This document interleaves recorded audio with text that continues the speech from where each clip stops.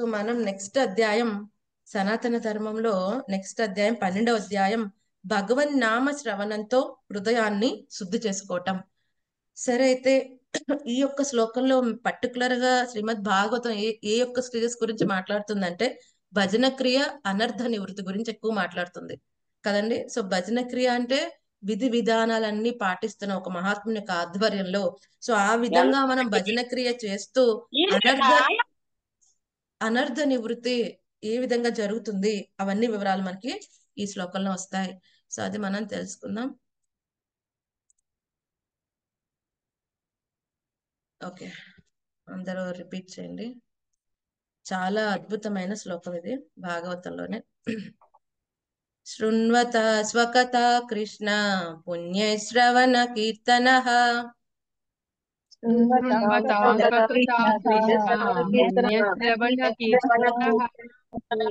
హృద్యంతస్తోహ భద్రాని విధునోతి సుహృసతాం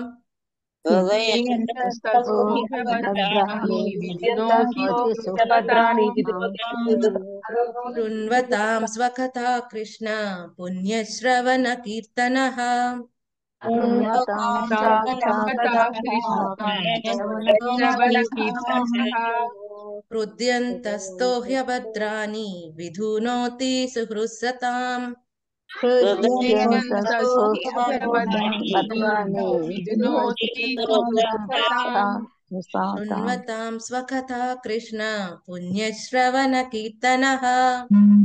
సుహృసతాం శృణ్వతాం స్వకథా కృష్ణ పుణ్యశ్రవణ కీర్తన హృద్యంతస్థో హ్యభద్రాని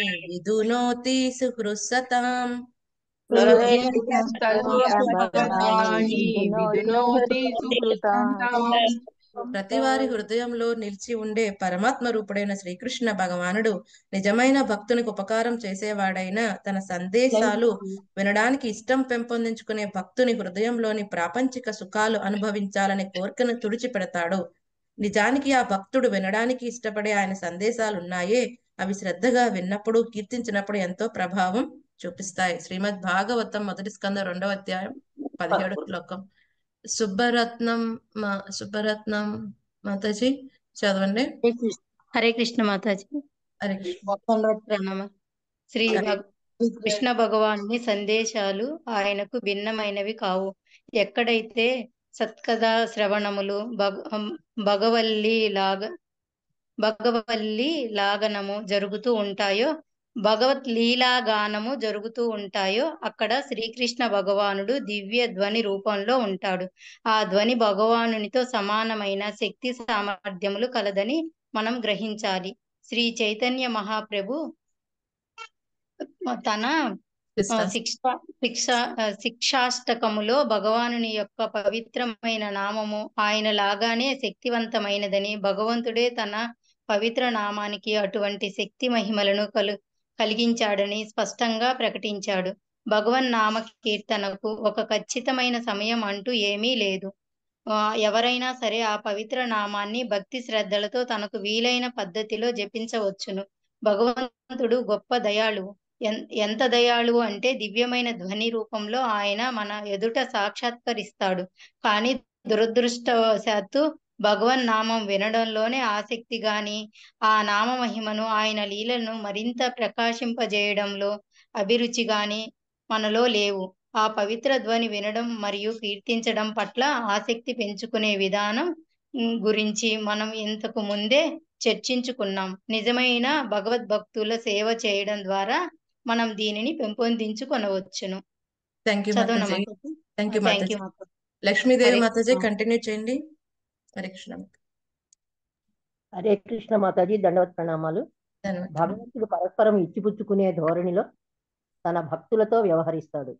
ఎప్పుడైతే భగవంతుడు తన భక్తుని సంపూర్ణమైన నిజాయితీని దివ్యమైన భగవద్రాజ్యంలో ప్రవేశించడంలో అతనికి గల నై నిజమైన ఆసక్తిని గమనిస్తాడో తన గురించి స్మరించడంలో అతనికి గల నిష్టను శ్రద్ధను చూస్తాడో అప్పుడు ఆయన ఆ భక్తుని హృదయం నుండే స్పందించి అతన్ని తన దగ్గరకు సులువుగా చేరడానికి సహాయం చేస్తాడు. భగవంతుడు మనం వాంఛించే దానికన్నా ఎక్కువ ఆతృతతో మనల్ని తన దగ్గరకు తీసుకొని వెళ్ళాలని కోరుకుంటాడు. మనలో చాలా మంది ఆయన సన్నిధికి తిరిగి చేరుకోవాలని తలంచరు. కానీ దేవాది దేవుడైన శ్రీకృష్ణ భగవానుని చేరాలని తప్పించే వారు ఎవరైనా సరే వారికి ఆయన అన్ని విధాలా సహాయపడతాడు. తన పాపాలన్నీ ప్రక్షాళన చేసుకొనకుండా ఎవ్వరు కూడా భగవద్ధామం నందు అడుగు పెట్టలేరు. భౌతిక ప్రకృతిపై అధికారము వహించాలనే మనకు కలిగిన కోరికల వల్ల ఉత్పన్నమైనవే మన భౌతికమైన పాపాలు. అటువంటి వాంఛల నుండి బయటపడడం చాలా కష్టం. భగవద్ధామం వైపు నడిపించే మార్గంలో భక్తుడికి ఎదురయ్యే ప్రధానమైన సమస్యలు స్త్రీ మరియు సంపదలు సంపదలు. ఎందరో మహానుభావులు తాము నడిచే భక్తి మార్గంలో వీటి కారణంగా ఆకర్షణకు లోనై భ్రష్టులయ్యారు. ముక్తి మార్గం నుండి వేరుపడిపోయారు. కానీ భగవంతుడే స్వయంగా సహాయం చేసినప్పుడు ఆయన కరుణా కటాక్షాల ఫలితంగా మొత్తం భక్తి విధానం అంతా సులభతరం అయిపోతుంది. స్త్రీ థ్యాంక్ యూ మాతాజీ. సునీత మాతాజీ కంటిన్యూ చేయండి. ధన్యవాదాలు మాతాజీ. ధన్యవాదాలు. హరే కృష్ణ మాతాజీ. స్త్రీ సంపదల ప్రభావానికి లోనైనప్పుడు మనిషి అశాంతి పాలవడం ఆశ్చర్యకరం ఆశ్చర్యకరమైన విషయం ఏమీ కాదు. ఎందుకంటే అనాది కాలం నుంచి ప్రతి ప్రాణి ఇటువంటి ప్రభావానికి లోనై తిరిగి దాని నుండి బయటపడేందుకు చాలా సమయం తీసుకోవడం మనం గమనిస్తూనే ఉన్నాం. కానీ భగవంతుని మహిమలు వింటూ ఉండేవాడు క్రమంగా తన వాస్తవ పరిస్థితిని గ్రహించగలుగుతారు. భగవంతుని కృపతో అటువంటి భక్తుడు అశాంతి అశాంతి క్షోభం వ్యాకుల పాటల నుండి బయటపడడానికై చాలినంత శక్తిని సంపాదించుకోగలుగుతారు. కాలక్రమంలో చికాకు పెట్టి అశాంతికి గురి చేసే అన్ని రకాల ఇబ్బందులు అతని మనస్సు నుండి తొలగిపోతాయి. శ్రీకృష్ణుని లీలలు శ్రవణం చేయడం చాలా తేలిక. ఆయన లీలలు మహిమలు లెక్కకు అందనివి. వాటన్నిటినీ మహాభారతం శ్రీమద్ భాగవతం వంటి ప్రామాణిక వైదిక వాంగ్మయంలో విస్తృతంగా పొందుపరచడం జరిగింది. భాగవత గ్రంథం అంతా శ్రీకృష్ణుని లీలలతో జీవిత ఘట్టాల వర్ణనలతో నిండి ఉంది. అంతేకాదు అది వినడం వల్ల మనం పవిత్రులమవుతాం. అంతేకాక మనలో అవి ఆసక్తిని పెంపొందించి దివ్యమైన అనుభూతిని ఆనందాన్ని కూడా కలిగిస్తాయి. సాధారణంగా ప్రజలు కల్పిత కథలు చదవడంలో ఆనందం పొందుతారు. అయితే మీరు శ్రీమద్ భాగవతాన్ని గనక మామూలుగా పఠిస్తే విశేషమైన ఆనందం కలగడమే కాక మీకు మీ ఆత్మతత్వం కూడా బోధపడుతుంది. Thank you Mataji. Thank you మాత హరే కృష్ణ హరే కృష్ణ సో ఇప్పుడు ఏమని చెప్తున్నారు? ఈ భజన క్రియ. ఈ భజన క్రియలో మనం చేసేది ఏంటి గురువుని ఆశ్రయిస్తాం. ఆయన దగ్గర నుంచి కృష్ణ కథా శ్రవణం చేస్తూ ఉంటాం. అంతేకాకుండా ఏం చేస్తూ ఉంటాం? ఏదైతే శ్రవణం చేస్తామో కీర్తన చేస్తూ ఉంటాం. వేరే వాళ్ళకి చెప్పే ప్రయత్నం చేస్తాం. అది మన ఇంట్లో వాళ్ళకైనా ఫ్రెండ్స్ కైనా లేకపోతే చిన్న చిన్న సైజ్ గ్రూప్ కైనా ఎవరికైనా వేరే వాళ్ళకి చెప్పే ప్రయత్నం చేస్తున్నాం. లేకపోతే సెల్ఫ్ మనకి మనమే మళ్ళీ స్మరించుకోవడానికి మనకి మనమే ఆధ్యాత్మిక జీవితంలో ఇన్స్పిరేషన్గా మనకి మనమే స్మరించుకుంటూ ఉంటాం కదండి? సో ఈ విధంగా ప్రతిదీ కూడా భగవంతుని గురించి వింటాం. ఏదైనా పెద్ద కష్టమా? కృష్ణ కథ వింటాం. ఏదైనా కష్టంగా ఉందండి? ఏదైనా కష్టం ఉందా?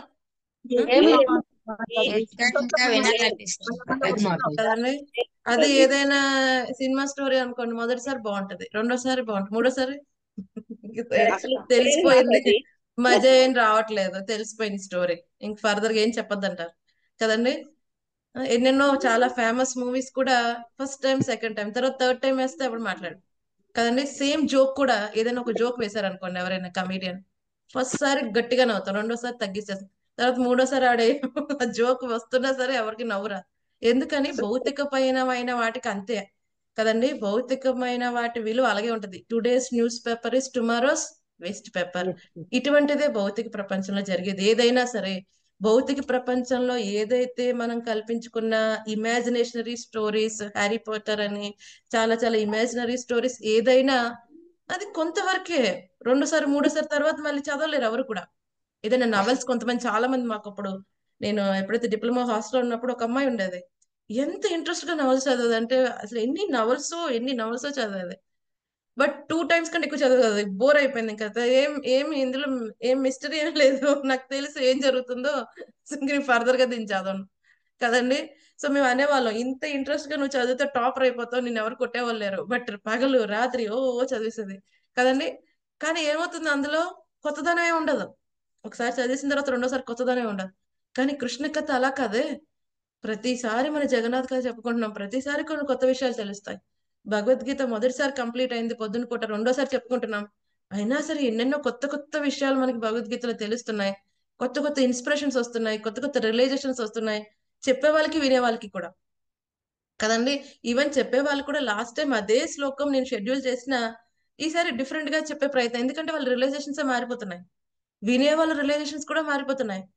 ఎవరైతే ఆధ్యాత్మిక జీవితంలో ముందుకు వెళ్తున్న కొద్ది కొత్త కొత్త విషయాలన్నీ కూడా అదే కృష్ణ కథలోంచి రిలైజేషన్స్ అన్ని వస్తాయి. అందుకని ఏం చేయాలి? పదే పదే వినాలి.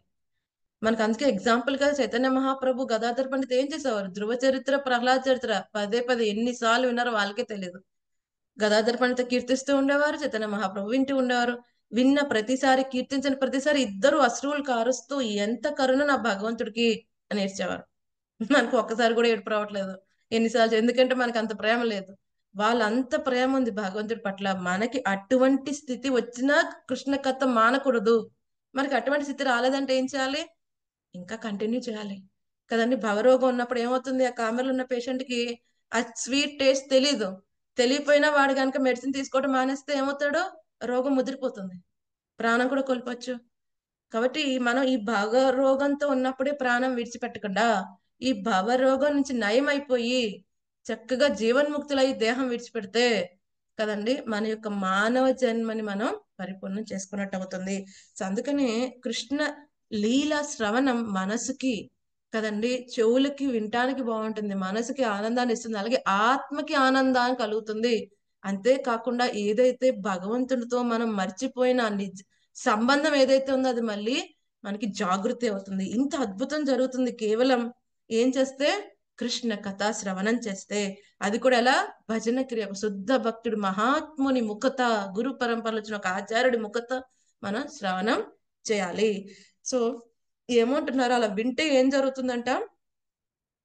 భగవంతుడు నిజమైన భక్తునికి ఉపకారం చేసేవాడైనా ఓకే. సో ఒక కొటేషన్ ఉంటుంది కదా? ఎవరికి వాళ్ళు సాయం చేసుకోవాలని ప్రయత్నిస్తున్నప్పుడు భగవంతుడు వాళ్ళకి సాయం చేస్తాడు. ఓకే. సో ఎవరిని ఎవరికి వాళ్ళు సాయం చేసుకుంటున్న వ్యక్తి అంటారు? చెప్పండి. అంటే ఇప్పుడు పేకాట కోసం డబ్బులు బాగా సంపాదిస్తున్న ఎటువంటి ట్రిక్స్ వేసి వాడి వాడికి వాడి సాయం చేసుకుంటున్నట్టు వాడు? ఎవరు నిజంగా వాడికి వాడి సాయం చేసుకుంటున్నట్టు వాడు? ఇష్టంగా వినేటప్పుడే మనకు మనం మంచి చేసుకుంటున్నాడు ఎవరైతే ఆత్మగానాన్ని సంపాదిస్తున్నారో వాళ్ళు వాళ్ళకి వాళ్ళు ఉపకారం చేసుకున్నట్టే మాతాజీ ఎవరైతే? ఆత్మ జ్ఞానాన్ని అంటే భగవంతుని సంబంధించిన జ్ఞానాన్ని ఎవరు తెలుసుకుంటారో వాళ్ళు అదే. ఓకే. తెలుసుకుంటారు. ఓకే ఇంకా? వాళ్ళకి వాళ్ళు మేలు చేసుకున్నట్టే మాతాజీ వాళ్ళు. ఓకే వాళ్ళకి వాళ్ళు మేలు చేసుకుంటే ఇంకా?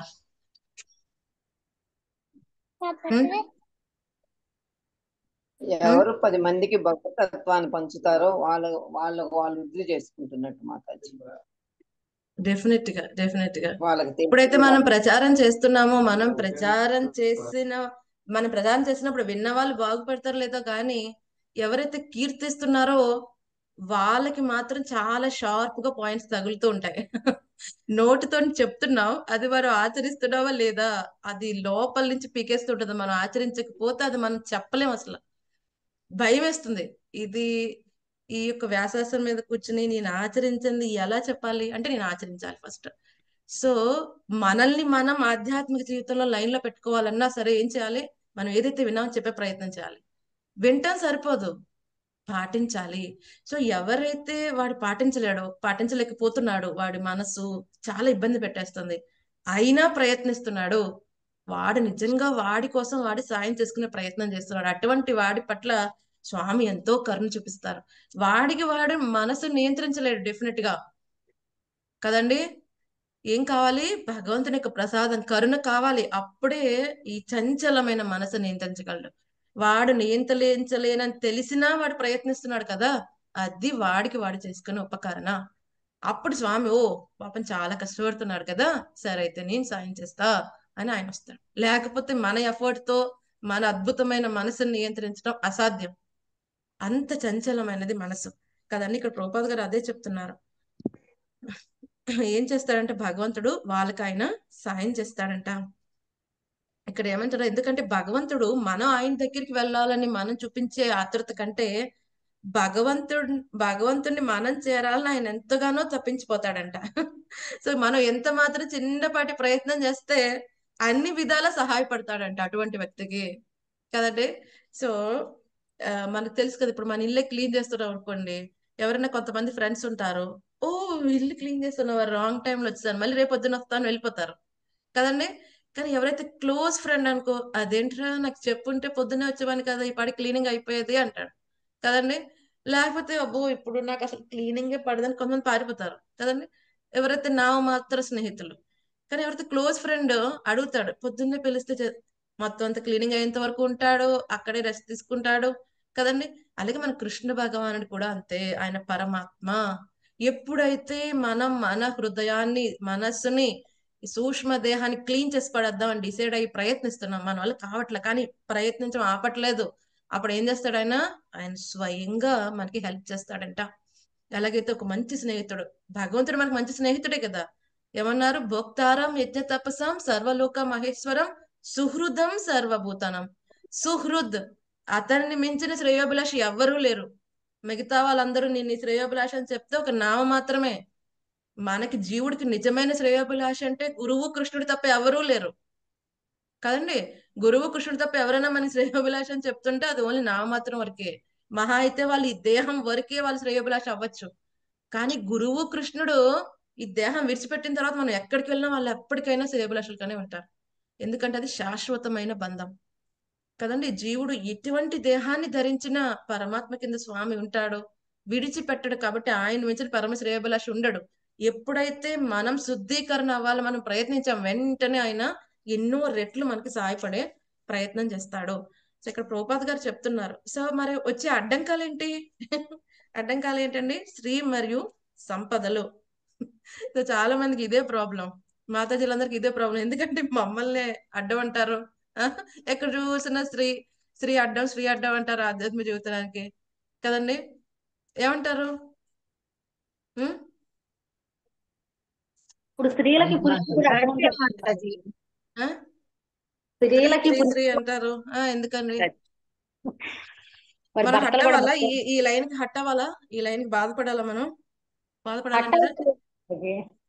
అవసరం ఎందుకంటే ప్రోపాత్ గారిని ఒకసారి మాతాజీలు అందరూ వెళ్ళి అడుగుతారనమాట అనమాట సో ఎప్పుడు చూసినా భాగవతంలో కొన్ని సెక్షన్స్లో యాక్చువల్గా ఈవెన్ నా పురంజన స్టోరీ గురించి ఎక్స్ప్లెయిన్ చేసేటప్పుడు కూడా స్త్రీ గురించి అలా ఎక్కువ రాస్తారు. ఎందుకంటే పురంజన అనేది ఒక ఏమంటారు? ఒక ఎనాలజీ స్టోరీ అన్నమాట. అది జస్ట్ క్రియేట్ చేసిన స్టోరీ పర్సిన బర్హిని భక్తి జీతంలో తీసుకురావడానికి.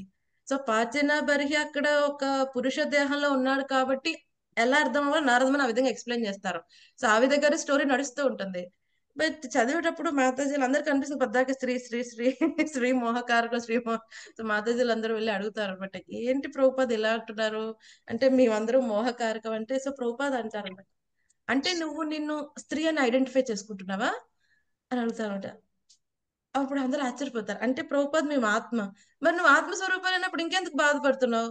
నువ్వు ఒక స్త్రీ అని నీ దేహభావంలో ఆలోచించేంత వరకు నువ్వు నిజంగా మోహకారకమే కానీ నువ్వు ఎప్పుడైతే ఆత్మభావంలో ఆలోచిస్తూ నీ భర్తకి నువ్వు సహకరిస్తున్నావో అది నీ భర్తకి నీ వల్ల పాజిటివ్ అవుతుంది కానీ నెగిటివ్ అవ్వదు.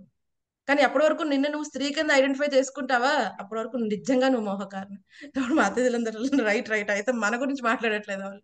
భౌతిక పరంగా ఎవరైతే బతుకుతున్నారో వాళ్ళ గురించి మాట్లాడతారు. సో మనం ఆ విధంగా అర్థం చేసుకోవాలి. సో ప్రభుపాద్ గారు ఏం చెప్తున్నారు? ఈ యొక్క ఆకర్షణ అనేది చాలా ఎక్కువ ఉంటుంది. ఎవరైతే పురుషుడు ఏం చేస్తారు? పురుషులకి ఎక్కువ ఆకర్షణ దేని మీద ఉంటుంది? స్త్రీ పట్ల సంపద పట్ల. అలాగే స్త్రీకి ఎక్కువ దేని మీద ఆకర్షణ ఉంటుంది? ఈ యొక్క భౌతిక యొక్క ఏమంటారు యొక్క ఫెసిలిటీస్ మీద ఆభరణ భూషణాల పట్ల లేకపోతే పిల్లల పట్ల ఈ యొక్క ఇంటి పట్ల. అటాచ్మెంట్స్ ఎక్కువ ఉంటాయి. ఇప్పుడు చూడండి ఎవరైనా ప్రభు చేసి ఇల్లు ట్రాన్స్ఫర్ అంటే వాళ్ళకి అంతగా ఎక్కువ ఫీలింగ్ ఉండదు. మాతాజీలు అయితే పొద్దున్న చెడుస్తూ కూర్చొని ఇల్లు ఇల్లు వదిలేసి వెళ్ళిపోవాలి. ఎంత అటాచ్మెంట్ ఎక్కువ ఉంటుంది ఎమోషన్స్ ఎక్కువ ఉంటాయి. కదండి? సో బట్ రెండు ఆకర్షణలు ఎవరైనా విడిచిపెట్టాలి. అటు పురుషుడైనా స్త్రీ అయినా ఈ భౌతికపరమైన ఆకర్షణలో దేహభావంలో ఉన్నంతసేపు కూడా దేహభావం ఉన్నంతసేపు కూడా స్త్రీ పురుషుడికి ఆటంకం పురుషుడి స్త్రీకి ఆటంకమే. కానీ వాళ్ళు ఎప్పుడైతే ఆ దేహభావం అతీతం అయ్యారో అప్పుడు ఏమవుతుంది ఆ భార్యాభర్త ఇద్దరు ఒకే చోట ఉన్నప్పటికీ ఒక వైష్ణవ ఒక వైష్ణవి ఉన్నప్పుడు కూడా ఇద్దరు ఒకరినొకరు సహకరించుకుని భక్తుల ముందుకెళ్తారు. కానీ ఎవరు ఎవరికి మోహకారకం కారు? అది మనం తెలుసుకోవాలి. సో ఇక్కడ ఇంకా ప్రభుపాద్ గారు చెప్తున్నారు. యాక్చువల్గా ఏమవుతుంది? మనం చూస్తాం ఈయన ఆ విశ్వామిత్ర విషయంలో కూడా కదండి ఆయన ఎంతగానో తపస్సు చేస్తూ ఉంటారు. బట్ ఆవిడ వస్తుంది ఆ విధంగా చేతికున్న కంకణాలు ఆ యొక్క స్మెల్ బాడీ ఎరమ కారణంగా ఆయన పడిపోవటం జరుగుతుంది. సో దాని గురించి మాట్లాడుతున్నారు కానీ హరిదాస్ ఠాకూర్ గారు ఎటువంటి విధంగా పడిపోలేదు. కదండి? సో ఎవరైతే తీవ్రమైన భక్తి చేస్తున్నారో ఎవరైతే ఫుల్గా దేహభావానికి అతీతం అవుతున్నారో అసలు ఏది కూడా మోహకారకం కాదు వాళ్ళకి. సో అది మనం తెలుసుకోవాలి. మనం ఎప్పుడైతే కృష్ణ కథ కంటిన్యూస్గా శ్రవణం చేస్తున్నామో ఏమవుతుంది? ఆ భక్తుడు ఇటువంటి అన్ని ఆ ఏమంటారు? అన్ని అవాంతరాలు ఇబ్బందుల నుంచి కూడా అన్ని చికాకుల నుంచి కూడా వాడు బయటపడతాడు. కేవలం ఏం చేయాలంటున్నారు? కృష్ణ కథ శ్రవణం. శృణ్వత స్వకథ కృష్ణ పుణ్య శ్రవణ కీర్తన. హృదయంతస్తో అభద్రాన్ని. హృదయంలో ఉన్న అభద్రాలన్నీ తొలగిపోతాయంట. ఎటువంటి అభద్రాలు ఉన్నాయి? కామ క్రోధ లోభ మోహ మద మాశ్చర్యంలో. అవన్నీ కూడా చాలా సునాయాసంగా అవన్నీ కూడా తొలగిపోతాయి. సరే అయితే పరిషిన్ మహారాజు కృష్ణ కథ శ్రవణం చేశారు. ఆయన చేసినట్టు మనం ఎవరూ చేయలేం కదండి. ఆయన ఏడు రోజులు పగల రాత్రి విన్నాడు. మనం నిర్జల ఏకాదశి రోజున పది గంటలు వింటమే మనకు చాలా కష్టం అయిపోయింది సో నేను అనుకున్నాను ఆ నిర్జల ఏకాదశికి పది గంటలు బాగా సక్సెస్ఫుల్గా చేస్తే నెక్స్ట్ ఏకాదశికి పెంచాలేమోనని. కానీ నాకు అర్థమైంది. పది గంటలే మనం చాలా కష్టం చేయటం అనేది. అందుకని మనం మూడు గంటలకు తగ్గించేసాం కానీ పరిషిన్ మహారాజ్ ఏడు పగలు ఏడు రాత్రులు విన్న తర్వాత ఒక అద్భుతమైన విషయం చెప్తారు కృష్ణ కథ గురించి. ఏం చెప్పారో మనం తెలుసుకుందాం. శ్రీమద్ భాగవతంలో వస్తుంది. ఆయన ఏం చెప్పాడు చూద్దాం.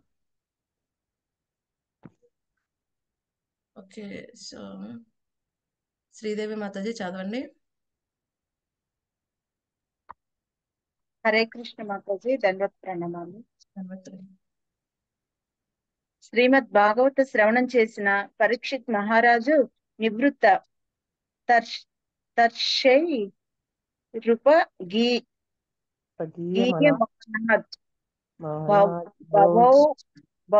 భవౌషధా శ్రోత్రమో మనో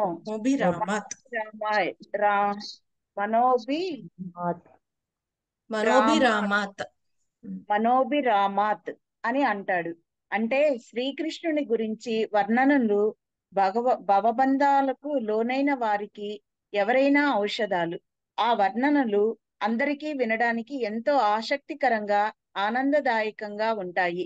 ముఖ్యంగా అన్ని రకాలైన భవబంధనాల నుండి స్వేచ్ఛ పొందిన వారికైతే ఇవి మరింత ఆసక్తికరంగా ఉంటాయి. ఒకరు భౌతిక ప్రపంచంలో ఉండేంత వరకు ఏదో ఒకటి లేదనో కా కాలేదనో బాధపడుతూనే ఉంటారు. ఎందుకంటే ఈ లోకం ప్రధానంగా కోరికల అజ్ఞానాల అదుపులో ఉంది. కాబట్టి ఎప్పుడూ ఒకరు ఏదో ఒకటి కావాలని కోరుకుంటూ ఉంటారు. దానికోసం ఆరాటపడుతూ దాన్ని పొందటం కోసం ప్రయత్నాలు చేస్తారు. అలా సంపాదించుకున్నది కనుక చేజారిపోతే చాలా బాధపడతారు. ఆ విధమైన కలత దుఃఖం వంటి ప్రకృతికి సంబంధించిన తక్కువ స్థాయి భావనలు అభద్రాణి అని అంటారు. అంటే మనోభి మనోమాలి మాలిన్యాలు కానీ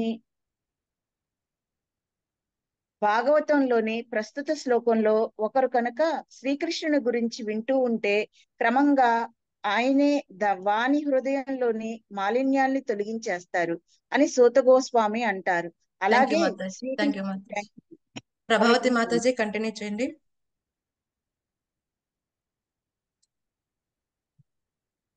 అలాగే శ్రీకృష్ణుని గురించిన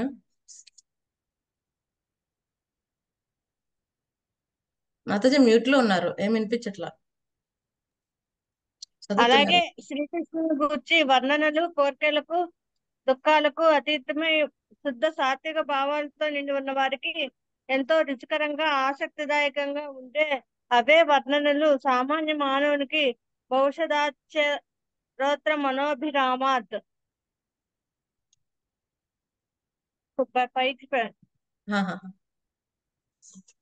చెవులకు మనసుకు కూడా చాలా ఇంపుగా ఉండి భౌతిక జీవితానికి సంబంధించిన ప్రతి వ్యాధిని నయం చేయగలిగే సముచిత ఔషధంగా ఔషధంగా కూడా ఉంటాయి అని పరీక్షణ్ మహారాజు అంటాడు కాబట్టి కృష్ణ చైతన్య సంఘంలో సామాన్య ప్రజలకు శ్రీకృష్ణుని గురించి వినే వినే అవకాశం వినే అవకాశం ఇవ్వడమే మన కార్యక్రమం శ్రీ చైతన్య మహాప్రభువు మనకు అందించిన జీవన లక్ష్యం ఇది.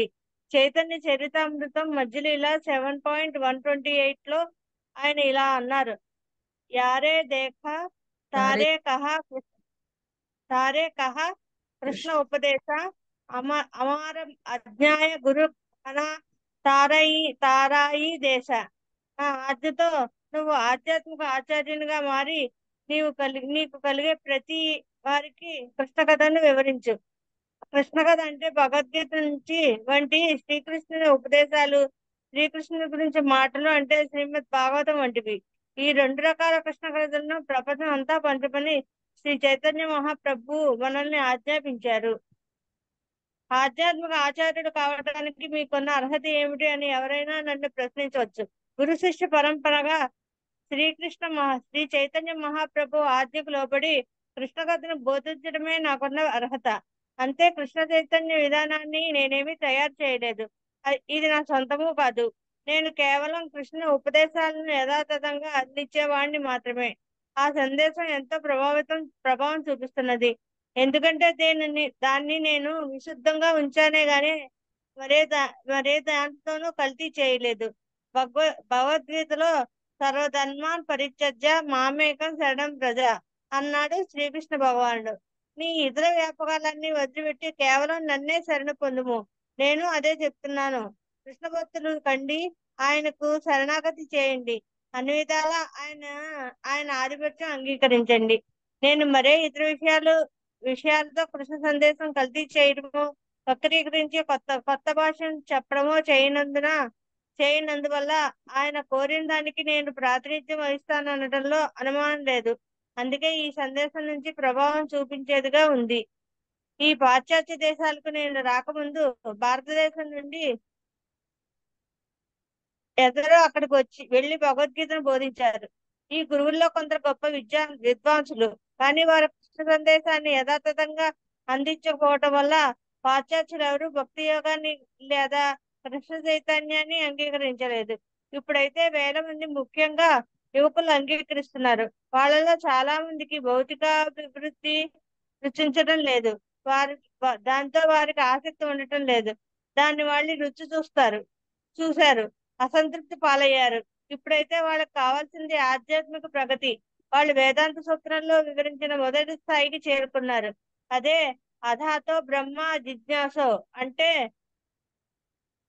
ఇప్పుడు మానవ జన్మలో మనం పర పరమైన పరమ సత్యమైన బ్రహ్మ గురించి జిజ్ఞాస కలిగి ఉండాలి. వారు ఎప్పుడైతే మమ్మల్ని దీని గురించి అడుగుతారో అప్పుడు భగవద్గీత ప్రకారం శ్రీకృష్ణుడే పరమ సత్యం అని మేము సృష్ట స్పష్టం చేశాం. చేస్తాం. కృష్ణుడు ఎవరు అనేది అర్థం చేసుకున్న అర్జునుడు ఏమంటున్నాడో వినండి. పరం బ్రహ్మ పరం ధామ పవిత్రం పరమం భవాన్. నువ్వే పరమాత్మ పరమ పర పరంధామానివి పవిత్రమైన పరమ సత్యానివి కాబట్టి ఎవరిలోనైనా పరమ సత్యాన్వేషణ ప్రారంభమైతే వారికి మేము కృష్ణ కథను అందించి తృప్తుల్ని చేస్తాం. థ్యాంక్ యూ మాతాజీ సుబ్బరామయ్య ప్రభు కంటిన్యూ చేయండి. హరే కృష్ణ మాత హరే కృష్ణ హరే కృష్ణ మాతాజీ హరే కృష్ణ ప్రభు అందువల్ల కృష్ణ చైతన్యోద్యమంలో పాలు పంచుకోవాలి. శ్రీ చైతన్య మహాబాబులో మహాప్రభువులు ఆదేశించినట్లుగా ప్రతి వారు కృష్ణ కథా శ్రవణం చేస్తూ ఈ జ్ఞానాన్ని అందరికీ అందించాలి. దీని ఫలం సనాతన గోస్వామి.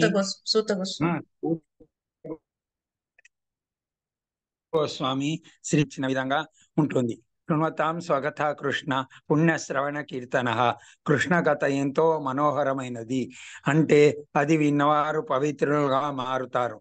కృష్ణుడు అంటే ఎవరో తెలియని వారు కూడా హరే కృష్ణ హరే కృష్ణ కృష్ణ కృష్ణ హరే హరే పవిత్ర నామాల ధ్వని తరంగాల్ని గనక వింటే పవిత్రుడు అవుతారు శ్రీ చైతన్య మహాప్రభువు తన శిక్షాష్టకంలో దీన్ని హృదయాన్ని విశుద్ధపరిచే మంత్రంగా కృష్ణ కథను వర్ణిస్తూ ఇలా అంటాడు.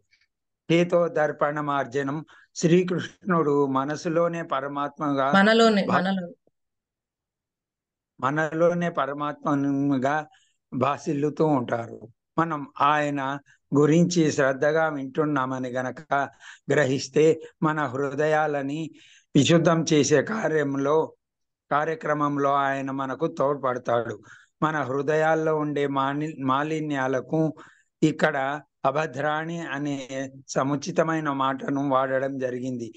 అభద్రాణి అంటే గౌరవ పదం కానీ భద్ర అంటే గౌరవప్రదమైన ఆదర్శవంతమైన అభద్ర అంటే గౌరవపదం కానటువంటిది అని అర్థం. మరియు మన హృదయాల్లో గౌరవప్రదం కానటువంటిది ఏముంటుంది? భగవంతునికి సంబంధించిన ఆస్తిపై మనకి హక్కు ఉందని దావా వేయడమే అది ఇది. ఈ రోజుల్లో చాలా మంది ఎంతో విలువైనదని భావించే జాతీయ కరుణ అనేది దీనికి చక్కని ఉదాహరణ. ఈ ఆధునిక యుగంలో ఈ జాతీయకరణం అనేది చాలా ప్రాధాన్యత సంతరించుకుంది. కానీ నిజం ఆలోచిస్తే ఇది అగౌరవ ప్రదమైనది అని చెప్పాలి. ఈ మాట మనం ఎలా అనగలం? ఈశోపనిషత్తు ప్రకారం మనం అనగలం. ఈశావాస్యమిదం సర్వం యత్నించ జగత్యాం జగత్ తేన త్యక్తేన భుంజీత మా గృహ మా కస్య సిద్ధనం. ఈ విశ్వంలో ఉన్న చేతనములు అచేతనములు అన్ని కూడా భగవంతునివే. నియంత్రించబడుతూ అతని ఆయనకి చెందినవిగా ఉంటాయి. అంటే వాటికి యజమాని భగవంతుడే. తనకు అవసరమైన నిర్ధారించబడిన వాటిని స్వీకరిస్తూ ఇతరులకు చెందిన వాటిని తాను తిరస్కరించాలి. అని ఇవి ఫలానా వారికి చెందినవి. బాగా తెలిసినప్పుడు వాటికి దూరంగా ఉండాలి. Thank you Prabhu Lakshmidevi Mataji continue చేయండి హరే కృష్ణ మాతాజీ ఈశోపనిషత్తు ప్రకారము ప్రతిదీ భగవంతునికి చెందినదే పరిస్థితుల్లో ఇది అమెరికా భూమి లేక ఇది భారతదేశం అని ఎలా వాదించగలవు ఇది ఒక భ్రమ నీది కాని దాన్ని నీదని వాదిస్తున్నావు నిజానికి నీ శరీరం నీది కాదు నీ కర్మను అనుసరించి ప్రకృతి నీకు నీ దేహాన్ని ఇచ్చింది కానీ చివరికి నీ శరీరము కృష్ణునికి చెందినది. ఉదాహరణకి నేను ఇల్లు అద్దెకు తీసుకున్నాను. అది నా ఇల్లు కాదు యజమానిది. అది సత్యం. నేను ఆ ఇంట్లోకి ప్రవేశించి ఇది నా ఇల్లు నా సొంతం అని గనక వాదన చేస్తే నేను కష్టాల పాలవుతాను. అలాగే మనం మన సౌకర్యం కోసం జీవన భృతి కోసం వాడే ప్రతి వస్తువును మనకు భగవంతుడు ప్రసాదించాడు. ఈ శరీరాన్ని భగవంతుడే ఇచ్చాడు. అలాగే దీన్ని నిలుపుకోవడానికి అవసరమయ్యే ప్రతిదీ ఆయనే ఇచ్చాడు. నువ్వు పళ్ళు ధాన్యాలు పాలు లేక మాంసం వీటన్నిటితో జీవితం గడుపుతుంటావు కదా? మరి ఇవన్నీ ఎవరిస్తున్నారు? వీటిని నీవు ఏ కర్మాగారాల్లో ఉత్పత్తి చేయలేవు. ఏకో ఏకో బహునాం యో విరుధాతి కమా కామాన్ అని వేదం అంటోంది. ప్రతి వారి అవసరాలను భగవంతుడు తీరుస్తున్నాడు. సృష్టిలోని ప్రతి వస్తువు భగవంతునికి చెందినవే అని గ్రహించడమే కృష్ణ చైతన్యం. మనం ఇప్పుడు మన హృదయాల్లో ఉండే ఎన్నో అపవిత్రమైన భావాల విషయాల్ని గమనించాం వాటిలో భగవంతునికి చెందిన వాటిని తప్పుగా మన సొంతమైన వాటిగా భావించడం ఒకటి. అయితే కృష్ణుడు మన హృదయాల్లోనే ఉంటాడు కనుక మనం క్రమం తప్పకుండా వింటూ ఉంటే ఆయన అది గమనించి ఇటువంటి మలినాలన్నింటినీ ఆయన కడిగేస్తాడు. హృద్యంత హృద్యంతస్థో హ్యభద్రాణి విధునోతి కాబట్టి కృష్ణ చైతన్యోద్యమం ప్రతి వారికి శ్రీమద్ భాగవతము భగవద్గీత ఇతర కృష్ణ కథలకు సంబంధించిన విషయాలు వినే అవకాశం కల్పిస్తూ మానవ సమాజాన్ని విశుద్ధపరిచి శాంతి సుఖం అభివృద్ధులతో జీవనం కొనసాగించే అవకాశాన్ని కల్పిస్తుంది. Thank you Mataji. హరే కృష్ణ మాతాజీ. ధన్యవాదాలు. ధన్యవాదాలు. సో చక్కగా సారాంశం స్టేజ్కి వచ్చేసాం. ఈ శ్లోకం సారాంశం ప్రభుపాద్ గారు చక్కగా చెప్తున్నారు. పరిషిన్ మహారాజ్ ఏం చెప్పారు? ఏడు రోజులు పగలు రాత్రి విన్న తర్వాత కృష్ణ కథ యొక్క మహత్యం. ఎందుకంటే ఈ యొక్క శ్లోకం ఏం చెప్తుంది? భజన క్రియ అనర్ధ నివృత్తి. ఎందుకంటే తర్వాత వచ్చేది నిష్ట ఆసక్తి. సో అనర్ధ నివృత్తి అనేది చాలా స్ట్రాంగ్ రాయి లాంటిది. అది పగలాలి అంటే తీవ్రంగా మనం కృష్ణ కథ శ్రవణం శ్రద్ధగా చేయకపోతే ఆ స్టేజ్ దాటం కష్టం. కదండి? ఎందుకంటే ఎన్నో జన్మలు బట్టి ఈ మోసుకుని వస్తున్నాం. ఆ పాపపు ఆలోచన ప్రవృత్తి అన్ని ఉంటున్నాయి. అంత ఈజీ కాదు. కామ క్రోధ లోభము మదమాచర్లు ఇవన్నీ ఏంటి? మలినాలు హృదయంలో ఉన్న మలినాలు అభద్రాలు. అవన్నీ తొలగాలంటే శ్రద్ధగా కృష్ణ కథ శ్రవణం చేయాలి. సో ఇక్కడ అదే చెప్తున్నారు ప్రభుపాద్ గారు. పరిషన్ మహారాజు కూడా అదే చెప్పాడు. మొత్తం అంతా భాగవతున్న తర్వాత ఆయన ఏమన్నారు? శ్రీకృష్ణుని గురించి వర్ణనలే భవబంధానికి లోనైన వారికి సరైన ఔషధములు. సో ఎవరైనా ఈ భవరోగం నుంచి బయటపడాలి అంటే శ్రీకృష్ణ కథ శ్రవణం చేయాలి. అంతకంటే వేరేది ఏమీ లేదు. సో ఎవరైతే కృష్ణగా శ్రద్ధగా శ్రవణం చేస్తారు సో కృష్ణ కథ అంటే ఏంటి? రెండు కథలు ఉన్నాయి ఒకటి భగవంతుడు చెప్పింది భగవద్గీత భగవంతుడు గురించి ఆయన భక్తుల గురించి ఇవ్వబడిన శ్రీమద్ భాగవతం. సో ఈ రెండు కృష్ణ కథల్ని చైతన్య మహాప్రభు ఏం చెప్పారు? యారే దాకే ఎరదేక తారే కహ కృష్ణ ఉపదేశ అమరాజ్ఞాయ గురహన తాయి దేశ. ఏమన్నారు? ఎవరిని చూసినా ఏం చెప్పాలి? కృష్ణ కథ. కృష్ణ కథ చెప్పాలి వాళ్ళకి. సో ఏమంటున్నారు? ఒక ఆచార్యుడి కింద మారు. ఆచార్యుడి కింద మారాలంటే నువ్వు ఫస్ట్ ఆచరిస్తూ ఉండాలి. అప్పుడు మనం ఆచార్యుడి కింద అవ్వగలం. కదండి? అంటే ఏదైతే వింటున్నాం కృష్ణ కథ కేవలం ఒక సినిమా స్టోరీ లాగా నవల్లాగా వినేది కాదు. వింటూ ఒక ఈ పాయింట్ నేను ఏ విధంగా అప్లై చేయాలి? మొన్న అంగ మహారాజ్ గురించి ఎంత బాగా చర్చించుకున్నాం మనం? కేవలం అంగమహారాజ్ స్టోరీ వినేసి క్లోజ్ చేసేయచ్చు. బట్ అంగమహారాజు నుంచి మనం ఏం తెలుసుకున్నాం? అంటే ఎటువంటి పరిస్థితుల్లో ఉన్న భక్తి అనేది విడిచిపెట్టకూడదు. కదండి? ఏదైనా భగవంతుని యొక్క కరుణ అని అర్థం చేసుకుని భక్తిని విడిచిపెట్టకుండా ఉండగలిగితే అది అద్భుతమైన విషయం. కదండి? అలా ప్రతిదీ మనకి ఇచ్చిన ఇన్స్ట్రక్షన్ తెలుసుకుంటూ ముందుకు వెళ్ళగలిగితే ఏమవుతుంది? అభద్రాలన్నీ చాలా సునాయాసంగా మనం బయటపడగలం.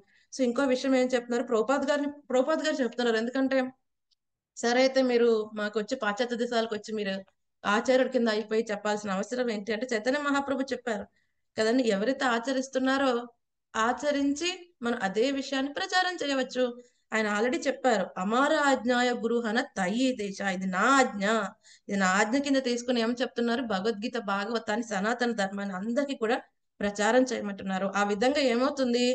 కృష్ణ కథలను యథాతథంగా ప్రచారం చేయాలి. ఎలాగైతే పోస్ట్ మ్యాన్ ఏం చేస్తాడో మనకి ఎటువంటి న్యూస్ వచ్చినా లెటర్ తీసుకొచ్చి మనకి ఇస్తాడు అంతే. కదండి? మనకి అందులో ఎవరైనా అమౌంట్ పంపించారు అనుకోండి చాలా ఎక్కువ అమౌంట్ ఉంటే సగం తీసేసుకుంటాడా? తీసుకోడు. తక్కువ అమౌంట్ అయితే యాడ్ చేసి ఇస్తాడా? లేదు. వాళ్ళు ఎంత అమౌంట్ ఇస్తే అంతే. అది మంచి వార్త అయితే మంచిది చెడు వార్త అయితే చెడుది. ఏదైతే అది మనకి తీసుకొచ్చి ఇస్తాడు అది మనకి ఇష్టమా కష్టం ఓ ఇలా చెప్తే వినే వాళ్ళందరూ రేపొద్దు నుంచి క్లాస్కి రారేమో మార్చేద్దాం ఈ స్టేట్మెంట్ అని అనుకుంటే అది యథాతథంగా ప్రచారం చేయటం కాదు. కదండి? ఎలా ఉందో అలాగే ప్రచారం చేయాలి. కదండి? సో అదే చెప్తున్నారు. సో ప్రభుపాద్ గారు చెప్తున్నారు నేనేం కల్తీ చేయాల. ఏదైతే విన్నానో ఏదైతే శాస్త్రం చెప్పింది అదే చెప్పా. కృష్ణుడు ఏమని చెప్పారు? నాకు శరణాగతి చెప్పమంటున్నారు నేనేమని చెప్పాను? కృష్ణ భక్తులు అవ్వండి కృష్ణుడు శరణాగతి అవ్వండి అని చెప్పా. సో నేను ఏదైతే యథాతథంగా చేసి ఎవరిని మోసం చేయకుండా ఉండటం కారణంగా ఏమైందని చెప్తున్నారు? ఇంతకు ముందు ఎంతో మంది వచ్చి భారతదేశం నుంచి ఎంతో ప్రచారం చేసినా ఎవరిలోనూ మార్పు రాలేదు. కానీ ఇప్పుడు నేను యథాతథంగా ప్రచారం చేయటం కారణంగా ఏమైంది?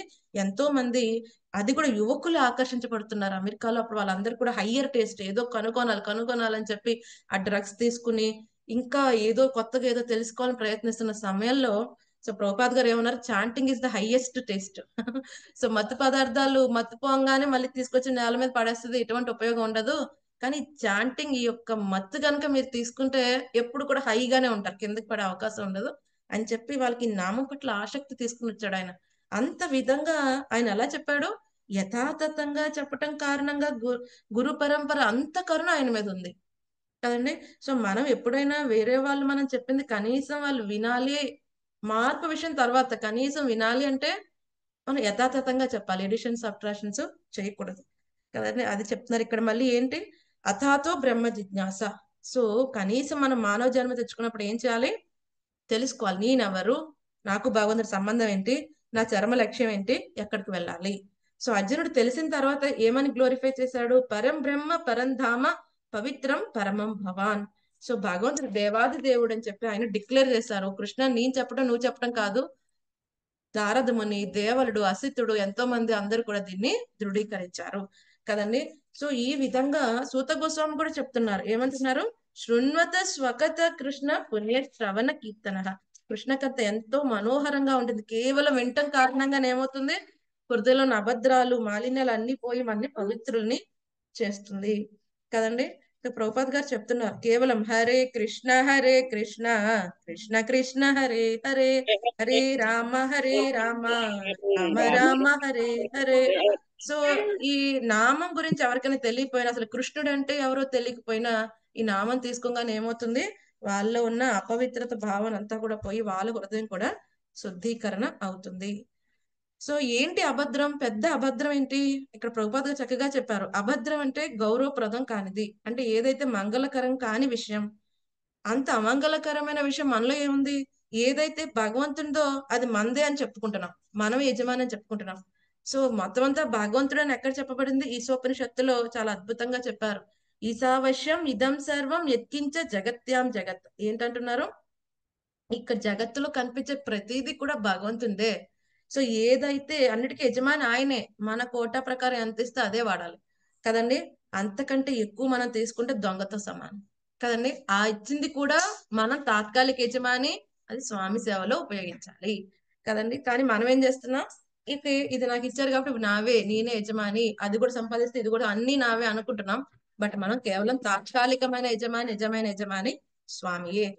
రూపాద్ గారు ఇక్కడ చెప్తున్నారు. ఆ, నా అమెరికా భూమి ఆ భారతదేశము భూమి అని అనుకోండి ఒక భ్రమ. ఇంతకు ముందు మనం అమెరికాలో పుట్టి ఉండొచ్చు ఇప్పుడు ఇండియాలో పుట్టాం మళ్ళీ అమెరికా వాడు రేపు ఇండియాలో పుట్టొచ్చు కదండి? సో అది కాదు మనం తెలుసుకోవాల్సింది. మన నిజమైన స్థితి ఏంటి? జీవేర స్వరూపహాయ్ కృష్ణేర నిత్యదాస్. అంతవరకు ఎందుకు? ఈ భౌతికమైన ఫెసిలిటీస్ ఎందుకు? ఈ దేహం కూడా స్వామిదే. ఎలా స్వామిదండి? స్వామి యొక్క శక్తి అయిన భౌతిక ప్రకృతి ఇస్తోంది. అంటే స్వామిదే స్వామి ఆజ్ఞ లేకపోతే భౌతిక ప్రకృతి మనకి దేహం కూడా ఇవ్వదు.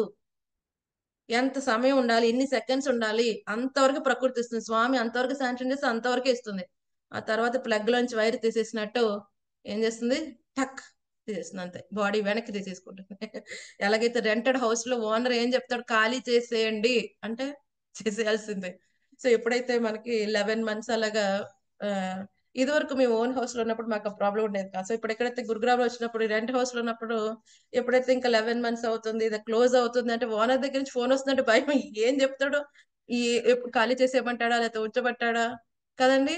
సో ఎందుకంటే వాళ్ళకి ట్రిక్స్ ఒకవేళ హయ్యర్ రెంట్ ఇంకా రెంట్ పెంచాలంటే ఓకే మీరు వెళ్ళిపోండి అంటాడు? లేదంటే రెంట్ ఎక్కువ ఇస్తామంటే ఉండమంట. సో ఈ విధంగా వాళ్ళ దగ్గర నుంచి ఫోన్ వస్తుందంటే భయం. ఎందుకని? సొంత ఇల్లు కాదు. కదండి? అలాగే మనకి ఎందుకు భయం? మృత్యు అంటే ఇది అద్దిల్లు కదా. ఎప్పుడు ఓనర్ ఎవరు ప్రకృతి తీసేసుకుంటుందేమో అని భయం. అందుకని హాస్పిటల్కి వెళ్తుంటే భయం. ఏదైనా రిపోర్ట్ వస్తుంటే భయం. ఏమో ఇదే అయిపోతుందేమో తీసేసుకుంటుందేమో ఇదే పెద్ద ఇష్యూ ఏమో. చిన్న గ్యాస్ నొప్పి వస్తే అమ్మో నాకు గుండె నొప్పి వచ్చిందని మొత్తం ఎంఆర్ఐలు అన్ని చేంజ్ చేసుకుని డాక్టర్ దగ్గరికి వెళ్ళిపోతున్నాం. ఎందుకని? అమ్మో నా గుండెకి ఏదైనా అయిపోయిందేమో చిన్న గ్యాస్ నొప్పి అని చెప్పి ఆ టాబ్లెట్ ఇచ్చి పంపించేస్తారు కదండి? సో ఈ విధంగా అద్దె ఇంట్లో ఉన్నంతసేపు టెన్షన్ ఉంటుంది. మరి సొంత ఇంటికి వెళ్ళాలి. సొంత ఇల్లు ఏంటి? ఆధ్యాత్మిక ప్రపంచంకి వెళ్ళినప్పుడు మనకి శాశ్వతమైన దేహం స్వామి ఇస్తాడు కదా అప్పుడు మనకి ఎటువంటి టెన్షన్ అనేది ఉండదు. సో ప్రతిదీ కూడా ఈ సృష్టిలో మనం ఏది చూస్తున్నా యజమాని స్వామియే అన్న విషయం మనకి కృష్ణ కథ చక్కగా శ్రవణం చేసిన వాడికి అర్థమవుతుంది. వాడు ఏం చేస్తాడు? అపవిత్రమైన భావం నుంచి బయటపడటం కారణంగా నిజమైన స్థితిలో ఉంటాడు. అంతేకాకుండా ఏం చేస్తారు? చక్కగా ఆసక్తి వాసుదేవ కథ పట్ల ఆసక్తి త్వర త్వరగా పెరుగుతూ ఉంటుంది. హృదయస్థో అభద్రాన్ని విధునోతి మొత్తం అభద్రాలన్నీ తొలగిపోతాయి. ఆ విధంగా ఏమవుతుందంటే మానవ సమాజం మొత్తం అంతా కూడా శాంతి సుఖాలతో అభివృద్ధులతో అందరు కూడా ఆనందంగా ఉండగలరు. కాబట్టి దయచేసి ఏం చేయాలి? ఎవరైతే మీ ఫ్రెండ్స్కి రిలేటివ్స్కి కృష్ణ కథ జాయిన్ అవ్వమని చెప్పండి. అవలేకపోతే కనీసం ఈ రికార్డింగ్ విను. నీ టైంలో నీ ఫ్రీ టైంలో విను. సో కొంతమంది ఏం చేస్తారు పొద్దున్న భగవద్గీత రామంటే అమ్మ పొద్దున్న బాక్సులు పెట్టాలి. పోనీ నైట్ భాగవతం వినండి అమ్మ అప్పుడు డిన్నర్ టైం అండి. మరి ఇంకెప్పుడు పిలవాలి? బా భగవద్గీతకి రాలేరు భాగవతానికి రాలేరు. పోనీ మధ్యాహ్నం ట్వెల్వ్ టు వన్ రండి అంటే అమ్మ అది afternoon time two to three అంటే నిద్రపోయే టైం ఇంకెప్పుడు పిలవాలి వాళ్ళని? కదండి. సో అటువంటి వాళ్ళకి ఏం చేయాలి? రికార్డింగ్ షేర్ చేయాలి. ఓకే వినండి. మీ ఫ్రీ టైంలో వినండి. తర్వాత వారం పది రోజుల తర్వాత అడగండి. కన్ఫామ్గా చెప్తారు వాళ్ళు వినడానికి టైం లేదని. కదండి? సో ఏం ఆశ్చర్యపోవక్కర్లేదు. మళ్ళీ ఇంకొక వారం తర్వాత మళ్ళీ అడిగే ప్రయత్నం చేయండి. ఎందుకంటే మనకి ఏదైతే పొందామో మళ్ళీ వాళ్ళకి అటువంటి ఆనందం ఇవ్వాలి అనుకుంటే మన ప్రయత్నం మనం చేస్తే ఈ జన్మలో కాకపోతే నెక్స్ట్ జన్మలో అయిన వాళ్ళు కూడా భగవంత్ భక్తులు అయితే ఇంకొక తల్లి గర్భంలో పెట్టబడకుండా ఉంటారు. Thank you so much the devotees so next week మనం నెక్స్ట్ పద్దెనిమిదో శ్లోకం గురించి ఎట్లా చెప్పుకుందాం. పద్దెనిమిదో శ్లోకం అనర్ధ నివృత్తి అలాగే నిష్ట. నెక్స్ట్ ఇంకా కంటిన్యూ చేస్తారు ఫుల్గా అనర్థాల నుంచి నివృత్తి అవ్వాలంటే ఏం చేయాలి? అలాగే స్థిరంగా ఉండాలంటే భక్తులు ఏం చేయాలి? అది మనకి నెక్స్ట్ పద్దెనిమిదో శ్లోకం అలాగే పదమూడో అధ్యాయం ఇందులో సనాతన ధర్మంలో అది మనం నెక్స్ట్ వీక్ తెలుసుకుందాం. ఏమైనా సందేహాలు ఉన్నాయండి? హరే కృష్ణ మాతాజీ మాతాజీ. పొద్దున్న నుంచి నేను మీ? రికార్డింగ్స్ విన్నాను. Fourth canto one two three అది. ఇప్పుడు ఇక్కడ నుంచి ఇదే శారీ చూసేసి పెట్టాను. ఇది రియల్గా వస్తుంది ఏమి అని తెలియకుండా అవసరపడ్డాను ఓకే అవునా? రికార్డింగ్ ఏంటి? రియాలిటీ ఏంటి? తెలియకుండా వెరీ నైస్ పొద్దు నుంచి అదే శారీ తర్వాత నేను టీవీలో పెట్టేసరికి అది ఏ రూమ్లో పోయినా వినిపిస్తూ ఉంటుంది అనేసి పెట్టేస్తాను మాతాజీ వెరీ నైస్ వెరీ నైస్ అదే చూస్తున్నా కింద కమెంట్స్ చూస్తున్నాను కదా చాలా బాగానే అందరూ శ్రవణం చేస్తున్నారు. రేపు పొద్దున టీవీలో చూడాలి. పెట్టింది నేను ఎలా కమెంట్ చేయాలో నాకు తెలియలేదు మాతాజీ మీ పేరు వేస్తేనే అన్ని వచ్చేస్తాయి అన్నమాట ఓకే. అందువల్ల అది కంప్లీట్గా మోస్ట్లీ నేను దాంట్లోనే చూస్తాను. అంటే పెద్ద స్క్రీన్ వల్ల దీంట్లో అంటే కళ్ళకు కూడా వస్తుంది అవును అదే బెస్ట్ ఈవెన్ అందులోనే బెస్ట్ కరెక్ట్ ఈవెన్ అదే టీవీలో చూడండి మాతాజీ? ఫోన్లో కామెంట్ పెట్టేసేయండి మాతాజీకి టీవీలో అక్కర్లేదు మాతాజీ పెడుతున్నారు మాతాజీ పెడుతున్నారు. నాకు తెలుస్తుంది ఓకే అనుకున్నాను. పొద్దు నుంచి చాలా క్లాసెస్ విన్నారు నాకు తెలుస్తుంది. వెరీ నైస్ అయితే బాగా శ్రవణం చేస్తున్నారు అనుకున్నాను. Very nice wonderful. సో యాక్చువల్గా నేను ఇంకోసారి చదవాలి రేపు మిమ్మల్ని అందరిని అడగాలంటే ఇప్పుడు నేను ఇంకోసారి మళ్ళీ ఆ మూడు అధ్యాయాలు ఏముంది ఒకసారి నేను చూడాలి. మీరు అందరూ ఆల్రెడీ చదివేస్తున్నారు. Very good. నేను ఇంకోసారి చూడాలి ఏముంది రైట్ సనాతన ధర్మంలో? పదహారు అధ్యాయాలు. పదహారు అధ్యాయాలు.